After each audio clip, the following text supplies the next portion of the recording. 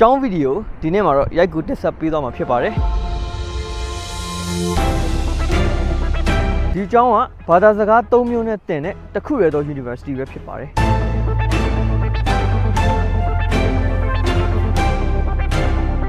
ဒီတရားတွေကမင်းတို့စောက်တာ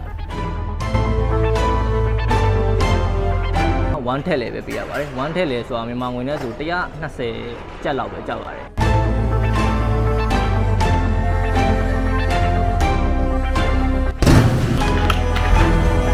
ကျွန်တော်တို့စေးချောင်းကတော့စမ်းမမှာလုံးဝမဖွင့်ပါဘူး department တွေအားလုံးထဲမှာအလှဆုံး department လို့ပြောလို့ရပါတယ်ကျွန်တော်တို့ department အာပြောရမယ်ဆိုရင် main ကလေးပုံများတယ်တခြား department တွေတက်စားလို့ရှိရင်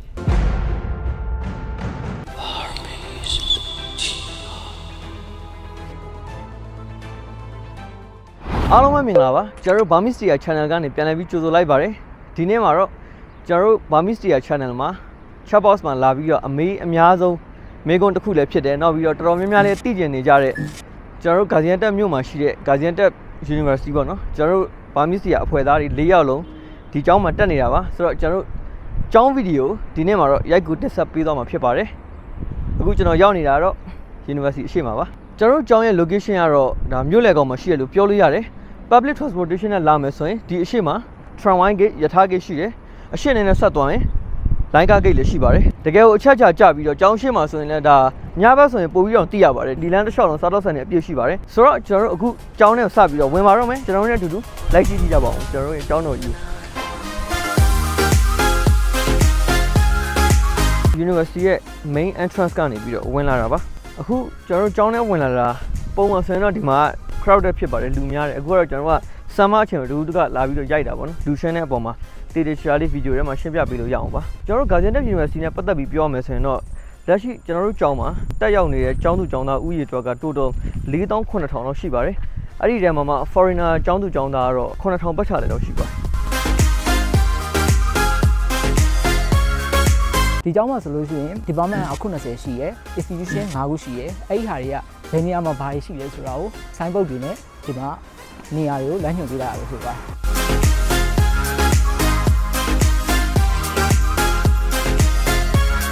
ကျွန်တော်တို့ကျောင်းက1983ခုနှစ်မှာစပြီးတော့တည်ထောင်တဲ့ကျောင်းဖြစ်တယ်။အဲ့ဒီအချိန်တုန်းကတော့ဒါကျွန်တော်တူရကီနိုင်ငံရဲ့နာမည်အကြီးဆုံး Engineering University ပေါ့နော်။ MITU ပေါ့။သူ့ရဲ့အခွဲအနေနဲ့ကျွန်တော်တို့ကျောင်းစခဲ့တာပါ။ဒါကတော့ Mechanical စာသင်ဆောင်ပါ။ဒီဘက်ကတော့ဒါ Mechanical Engineering ရဲ့ Laboratory ပေါ့နော်။ ဒီအဆောက်အအုံကြီးကတော့ဒါကျွန်တော်တို့ first year ကြရင်ပေါ့ Engineering ကျောင်းသားတွေအားလုံးအင်္ဂလိပ်စာတို့သင်ချာတို့လာပြီးတော့သင်ရတဲ့ department ပါ။ကျွန်တော်အထဲကိုနည်းနည်းလိုက်ပြီးတော့ရိုက်ပြပေးပါမယ်။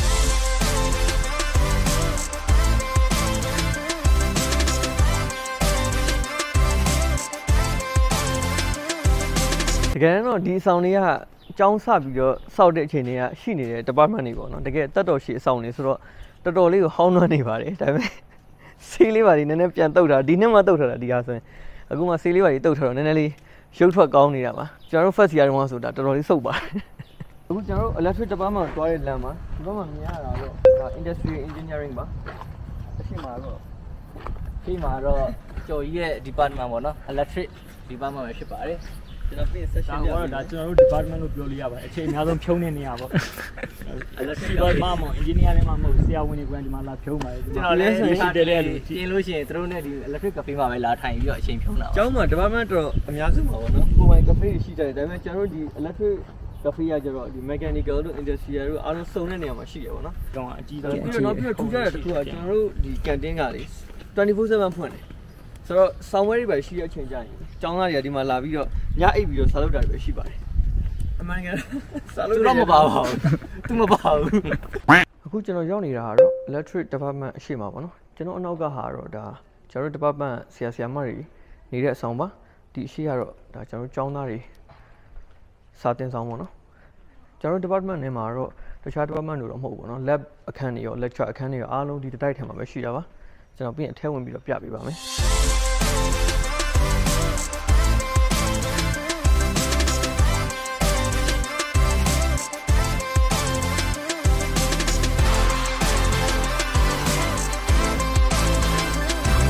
ကျွန်တော်တို့ department စာသင်ခန်းတွေကတော့အရန်ကျဲတဲ့အခန်းတွေပါလေရှိပါတယ် amphi တွေပါလေဒါပေမဲ့အများစုကတော့ဒီလောက် size တွေပါပဲအခန်းတွေကပြီးတော့အဲတယောက်ခုံနေတဲ့တင်းတဲ့အခန်းတွေများပါတယ်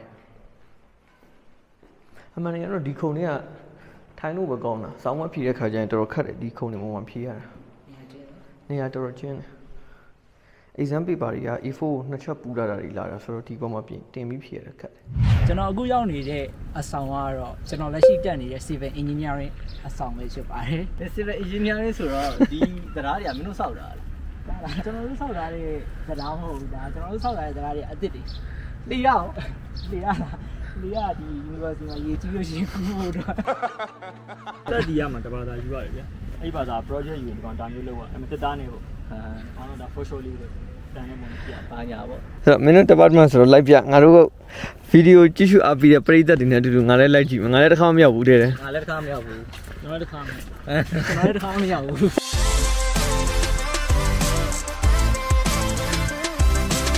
ဒါအခုနောက်လေးတော့လည်းလည်းကျွန်တော်ဆောင်းဝတ်ထိလာတယ်ဖြည့်နိုင်လားဆောင်းပွဲတောင်းဝဲဝဲချက်တွေရနေတယ်ဘုရားကတော့လည်းရှိတယ် အဲ့ဒါတော့မှမကခုံနေရတာတယောက်ခုံနေတယ်ဖြေရကျွန်တော်တို့ဒီစေကမှာအများကြီးလို့ခုံနေခုံနေရှိတယ်ကျွန်တော်တို့ထိုင်လို့ရှိရင်တော့မှဘေးမှာလူမထားဘူးတယောက်လေးလုပ်တယ်ပုံမှန်ဆိုရင်လက်စင်ရအောင်တွေးနေတာနှစ်ယောက်ရှိသူကတော့တစ်ယောက်လေးဆိုတော့ဒီတက်တာအလဲထိုင်ကျွန်တော်တို့ထုံးတယ်အဲ့လိုဘယ်တော့မှစာတင်လို့ရှိရင်အရှိဆုံးမထားဘူးအများနဲ့နောက်ဆုံး back benchers တွေငါတို့တွေကနောက်ဆုံးမှာပဲထိုင်တယ်လောက်အောင် reaction လေ ကျွန်တော်တို့အဆောင်တွေ့ရတော့ civil engineering က electric နဲ့ဆိုင်တော့တော်တော်လေးလာတာအသိတယ်ဒီမှာထားပြီးပြော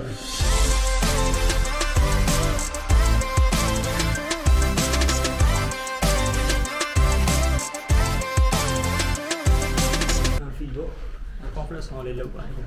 စာလေးတင်အကြောင်းလေးပတ်သက်တဲ့ပွဲတွေပေါ့ပွဲတွေဒီမှာလုပ်ပါ electric department နဲ့တော်တော်လေး ပွားဟာပါတယ်ဒီထဲဝင်လာတယ်လုံးဝ e စိတ်ပြီးတော့ဘလူးမရှိလေအဲ့ကောင်တွေဖွင့်လာတယ်နော်ပြောဒီမှာစာတင်ရအရင်ပြော့ဟိုခန်းရင်တခြားအေးပေါ့တက်ကတူပုံစံ free 5ပြရတကယ်တက်တူပဲကြတယ်ပေါ့ပေါ့3 3 years ရုပ်ရှင်အောင်ပြန်ပြီးတတိယအောင်နောက်ဆုံးတော့မှထိုင်ရုပ်ရှင်အောင်လည်းရောက်သွားလို့ခံစားလိုက်ရတဲ့ဒီခန်းထဲလာတာလုံးဝ e စိတ်ပြီးတော့ခုံနေရတယ်ကြီးလည်း good တယ်စီးစိမ်ရှိဒီဘူးကောင်ရမယ်ကြီးဘယ်လိုလုပ်လို့ဒီပဲကွာခဲဝင်လာလို့မချော့ရသေးဘူး ကျွန်တော်တို့ electric department amphi ရကြတော့ဒီလိုမျိုးမရှိဘူးတပြေးညီတယ်အခန်းကြီးအကျယ်ကြီးဒါပေမဲ့တပြေးညီတဲ့ခုံနေတာဒီမှာတော့တော့ရုပ်ရှင်အောင်လို့စိတ်ပဲဒါသာဆိုတော့ဒီခန်းထဲမှာဆာလာတင်အိပ်ပြောပါကျွန်တော်လည်းဝင်ခံပါတယ်ဒီ civil department တော်တော်လေးကိုလာတယ်သူတို့ insert ဆိုတဲ့အတိုင်းစောက်လို့ရည်သမားတွေဆိုတော့တော်တော်လေးကိုလှလှပပစောက်ထားတာပါဆောက်လို့တော်လေးဆောက်လို့တော့တော့မဟုတ်ဘူးနေလည်းလုပ်မရိုင်းတာအနေနဲ့ဘာလို့လဲဆောက်လို့ရေးသမားကတော့လုံးလုံးအကြည့်ပါတယ်စောက်လို့ရည် engineer ကျွန်တော်တို့ department အာပြောရမယ်ဆိုရင် main ကလေးပုံများတယ်တခြား department တွေတက်စားလို့ရှိရင်ဥပမာ electric တို့ mechanic တို့သွားလို့ရှိရင် mechanical မှာ main ကလေးတော့မရှိမရှိဘူးဘူးကန်ဒီကမင်းပြီးတော့ဒီမှာတော့ရှာမမင်းင်းကကလေးလေးများကလေးများ main ကလေးကိုမှအများဆုံးက Syria တွေတွေ့ရတယ်စာအရန်တော်ပါတယ်သူစာတော့တယ်သူတို့စာအရန်တော်တော့အတန်း average ကအရန်မြင့်ပါတယ်ကျွန်တော်တော်တော်ယုံရပါတယ်ဒီမှာ food engineer တွေဆိုရင်တော့ဒီမှာ mainly တော်တော်များများတက်ကြတယ်နော် food engineer စေဘတ်တော့ပုံများများတော့ food ကျွန်တော်ဒီကျောင်းမှာ main class အများစုတက်တဲ့ major တွေက food engineering ရှိတယ် tester ရှိတယ်ဒီ civil တက်ကြတယ်ငါတို့ electric တွေ mechanical တွေမှာခက်ရှာရှာပဲဟုတ်ပြီဒါကတော့ကျွန်တော် civil နဲ့ canteen မှာအခုတော့ကျောင်းချိန်မဟုတ်တော့ကျောင်းသားတွေမရှိတော့အရန်လူနေတာပါပုံမှန်ဆိုရင်တော့ဒီ civil engineering ရဲ့ကျောင်းဆင်းချိန်တွေပါဆိုတော့တော်တော်လူများပါတယ်ဟုတ်ကဲ့ပါဒါကတော့ကျွန်တော်တို့ Guardian Tech University ထဲမှာရှိတဲ့ထမင်းစားဆောင်ပါဒီထမင်းစားဆောင်ကတော့ ၃ထပ်ရှိပါတယ်အထက်ထဲမှာကျောင်းသားအယောက်3000လောက်တပြိုင်နက်တည်းစားနိုင်အောင်လို့စီစဉ်ပေးထားပါတယ်ကျွန်တော်နဲ့အတူတူစားတော့ဆောင်နဲ့လိုက်ပြီးတော့ကြည့်ကြည့်ကြပါဦး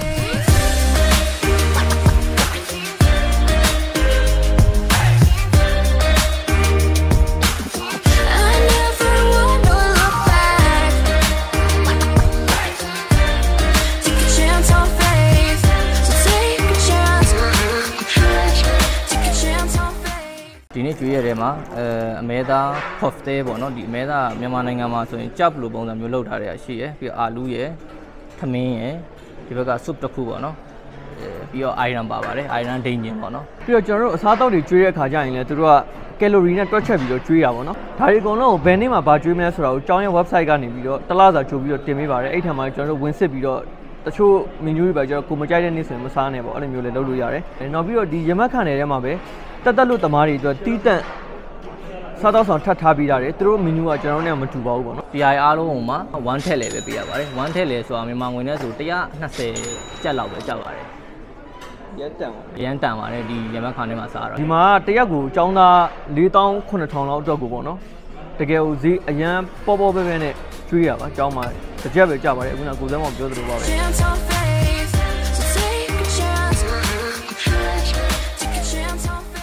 အခုကျွန်တော်ရဲ့ဒီဘက်ဘေးမှာမြင်ရတာကတော့ဒါကျောင်းထဲမှာရှိတဲ့အဆောင်ပါကျွန်တော်တို့ကျောင်းထဲမှာပဲအဆောင်၃ခုရှိပါတယ်ယောက်ျားလေးအဆောင်ကတစ်ဆောင်မိန်းကလေးအဆောင်နှစ်ဆောင်ထားထားပြီးပါတယ်ကျောင်းထဲမှာဟိုးအရှိမမြင်တွေ့ရတာကတော့ဒီမိကိုရောင်အဆောင်ကတော့ဒါအဆောင်အစ်စ်ပေါ့နော်ကျောင်းသားဥယျာဉ်2000လောက်ဒီစန့်ပါတယ်ဒီဘက်ကအဆောင်တွေကတော့ကျောင်းသားဥယျာဉ်600လောက်စန့်ပါတယ်ပုံမှန်ဆိုရင်တော့ဒီကျောင်းအဆောင်တွေမှာပေါ့နော်တခန်းမှာကျောင်းသား3ယောက်သို့မဟုတ်4ယောက်နေရတယ်လက်ရှိကျောင်းအဆောင်မှာနေတဲ့ဈေးကတော့ တစ်လောက်ကို Turkish lira 600ပေးရတယ်မြန်မာငွေနဲ့ဆိုရင်တော့9000နီးပါးလောက်ကျပါတယ်တရက်ကိုသူတို့ကတော့ breakfast ရယ် dinner ရယ်ကျွေးရယ် lunch ကတော့ကျောင်းကကျွန်တော်တို့စားတော့ဆောင်မှာစားလို့ရတဲ့ဖြစ်တဲ့အတွက် lunch တော့မပါပါဘူးတခုထူးခြားတာကတော့တူရကီမှာကျောင်းအများစုမှာပေါ့နော်ကျောင်းဝင်းအထက်ထဲမှာပဲဒီကျောင်းအဆောင်တွေကိုထားရရှိပါတယ်ပို့ပြီးတော့လည်းလုံခြုံတာပေါ့နော်အခုဒါကတော့ university ထဲမှာရှိတဲ့ပလီပဲဖြစ်ပါတယ်တူရကီမှာပေါ့နော်ကျောင်းအများစုမှာပလီတွေထားရှိပေးထားပါတယ် ကျွန်တော်တို့ department တစ်ခုချင်းစီတိုင်းမှာလည်းနမတ်ဝဲပြုလုပ်ရတဲ့ဒီ masjid အသေးလေးတွေထားထားပေးတယ်တို့ပေမဲ့လည်းပဲဒါကတော့ကျောင်းထဲမှာရှိတဲ့ main ပလီပဲဖြစ်ပါတယ်ကျွန်တော်တို့အခုရောက်နေတာကတော့ Gaziantep University မှာရှိတဲ့ Sportium ပဲဖြစ်ပါတယ်ဒီ Sportium မှာဆိုလို့ရှိရင်အခု tennis queen တွေရှိတယ်ပြီးတော့ဘောလုံးကွင်းတွေလည်းရှိတယ်ဘောလုံးကွင်းဆိုနှစ်ကွင်းပေါ့နော် tennis queen လည်းနှစ်ကွင်း Sportium ကအထဲမှာလည်းတော်တော်လေးမိုက်ပါတယ်ကျွန်တော်အထဲလည်းလိုက်ပြပေးပါမယ်အထဲမှာရှိတဲ့ facility တွေရောအပြင်မှာရှိတဲ့ facility အကုန်လုံးဈေးပေါပေါနဲ့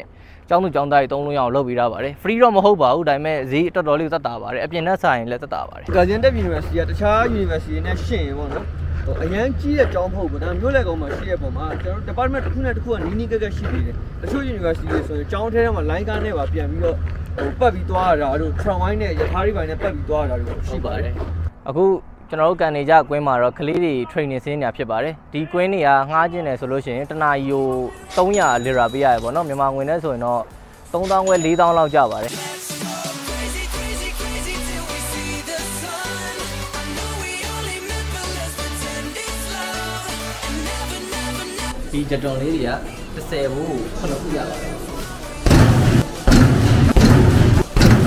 ဝနာကတော့နံပါတ်1ကိုစမ်းမောင်ကနံပါတ်2 ကျွန်တော်ကနံပါတ်3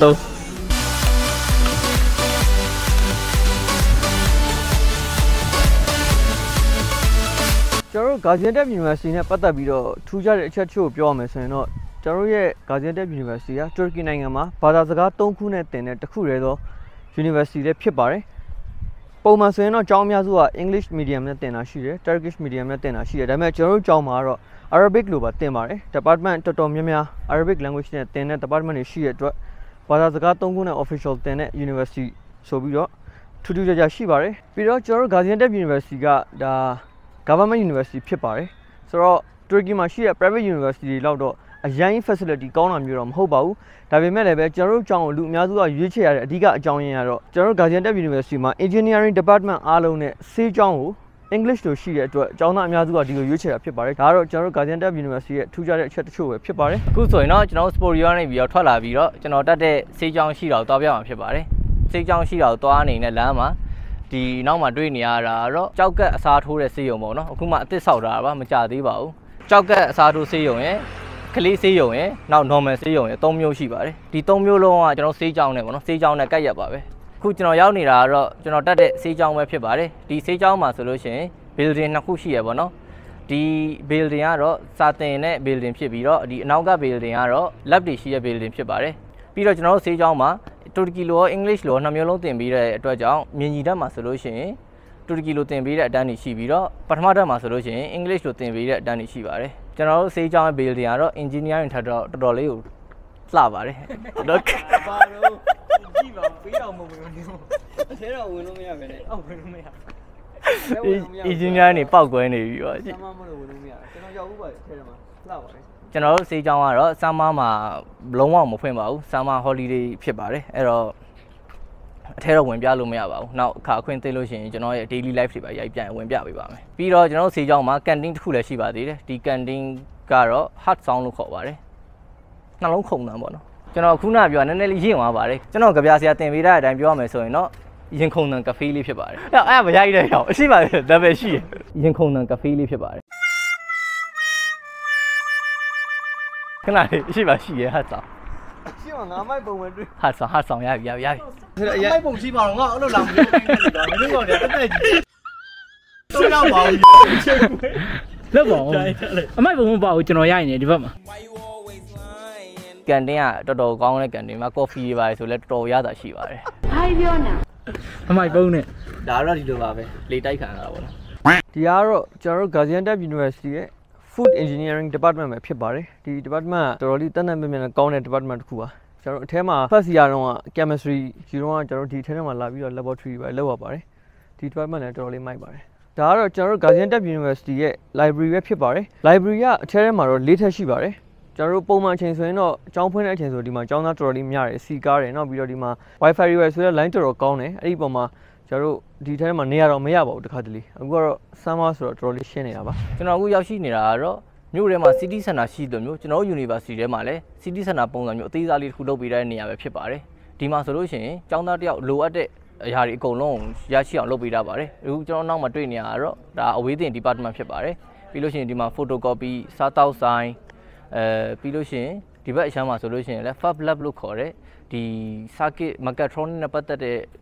လူငယ်တွေအတွက် lab ပုံစံမျိုးအသေးစားလေးတစ်ခုလည်းလုပ်ပေးထားပါတယ်ပြီးရင် ATM တွေလည်းရှိတယ်ဘဏ်တွေလည်းရှိတယ်ပြီးတော့ grocery store ပါဒီထဲမှာထားရှိပေးတာပဲဖြစ်ပါတယ်ဆိုတော့ပြောရမယ်ဆိုလို့ရှိရင်ဒီနေရာဟာចောင်းသားတစ်ယောက်အတွက်လိုအပ်တဲ့ facility အားလုံးပြည့်ပြည့်စုံစုံထားရှိပေးထားတဲ့နေရာတစ်ခုပဲဖြစ်ပါတယ်ဒါကတော့ Toma department ပါ Toma ဆိုတာကတော့ဒါ Turkish language ပေါ့နော်ကျွန်တော် preparation အနေနဲ့တစ်နှစ်တက်ကြတာပါတချို့ကျွန်တော်တို့ department တွေမှာ Turkish language နဲ့သင်ရတယ်ဆိုရင်တော့ foreigner တွေအနေနဲ့ဒီမှာမဖြစ်မနေတစ်နှစ်လာပြီးတက်ရပါတယ်ဒီ Toma department ရဲ့အရှိတက်တယ်မှာဆိုရင်တော့ဒါ English department ပါ foreigner ကျောင်းသားတွေအနေနဲ့ဒီကျောင်းမှာဥပမာ engineering တက်သည်ဖြစ်စေ စေးကျောင်းတက်သည်ဖြစ်စေ English လိုနဲ့တက်မယ်ဆိုရင်ဒီမှာကျွန်တော်လာပြီးတော့ဆောင်းပွဲဖြေရပါတယ်တချို့ကျောင်းသားတွေအနေနဲ့ proficiency exam တွေပါဒီမှာလွှဲချော်မှုဖြစ်သွားရဆိုရင်တော့ဒီမှာ English စာတစ်နှစ်ထပ်ပြီးတော့တက်ရပါတယ်ဒါကတော့ language department နှစ်ခုညနေချင်းဆိုင်ရှိတာပါဒီ department တွေကတော့အထက်ထဲကျွန်တော်တို့ဝင်တော့မပြတော့ပါဘူးဘာလို့လဲဆိုတော့ video ထဲမှာအရန်ရှည်သွားမှာဆိုလို့ပါတခြားကြံရှိတဲ့ department တွေကျွန်တော်လိုက်ပြီးတော့ပြပေးပါဦးမယ် အခုကျွန်တော်တို့ရိုက်ပြပြီးသလောက်ပေါ့နော်ကျွန်တော်တို့ရဲ့ department တွေကဒါចောင်းဆစောက်တဲ့အခြေအနေကရှိနေတဲ့ပုံမှာနည်းနည်းဟောင်းနေတာပါဒါတွေကိုကြည့်ပြီးတော့ကျွန်တော်တို့ကြောင်အရန်တော့အထင်မသေးပါနဲ့အရန်မိုက်တဲ့ department တွေနောက်မှတက်ရှိပါသေးတယ်ပထမဆုံးအနေနဲ့ပြောရရင်တော့ဒီဘက်မှာကတော့ဒါကျောင်းရဲ့အခမ်းအနားဆုံးအဆောက်အအုံလို့လည်းပြောလို့ရတယ်အင်ဒိုပွင့်နေသမင်ခမ်းမအစ်စ်ပဲဖြစ်ပါတယ်ဒါတော်တော်လေးလှပါတယ်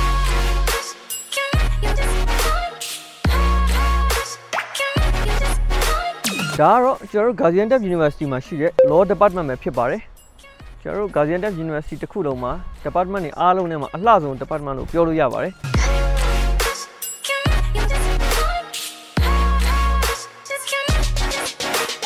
တော်တော်လေးမိုက်ပါတယ်ဒီအထဲထဲမှာနောက်ပြီးတော့ဒီ code အသေးစားတွေပါကြသူတို့လုတ်ထားတယ်ဆိုတော့ကျွန်တော်တို့ဒီ department ရဲ့အပြင်ဘက်ကနေကြည့်ရတာတော့မှတော်တော်လေးလှပါတယ်ဒီ department ကိုအပြင်ဘက်ကနေရိုက်ကူးထားတဲ့ video ကိုပဲကြည့်ရှုအားပေးကြပါဦး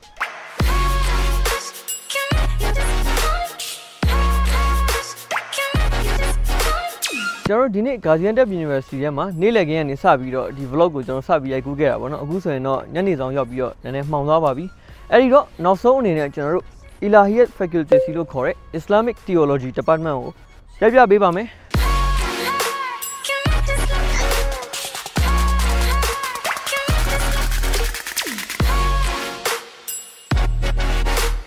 အမျိုးသမီး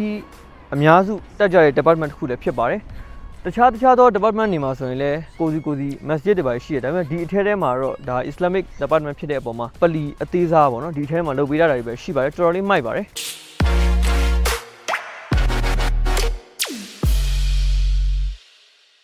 ကျွန်တော်တို့ရဲ့ဒီနေ့ဗီဒီယိုလေးကတော့ဒီလောက်ပါပဲကျွန်တော်တို့ရဲ့ Gaziantep University video ကိုကြည့်ရှုကြတဲ့လူတွေအားလုံးလည်းကျေနပ်နှစ်သက်လိမ့်မယ်လို့မျှော်လင့်ပါတယ်ကျွန်တော်တို့ရဲ့ဗီဒီယိုတွေကိုကြိုက်နှစ်သက်တယ်ဆိုရင် like and subscribe လုပ်သွားပေးဖို့လည်းပြောလိုပါတယ်တခြားသိချင်တဲ့အကြောင်းအရာတွေများရှိရင်လည်း comment box မှာမေးသွားလို့ရပါတယ်အားလုံးပဲနောက်ဗီဒီယိုမှာပြန်တွေ့ကြတာပေါ့